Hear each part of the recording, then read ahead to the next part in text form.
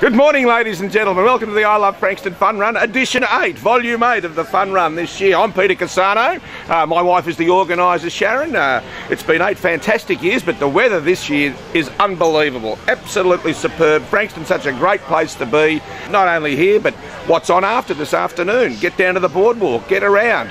So many people here enjoying the fun. We've got lots of activities on kids, parents, grandparents, all having fun and looking forward to a fantastic morning. Welcome everybody on Frankston TV.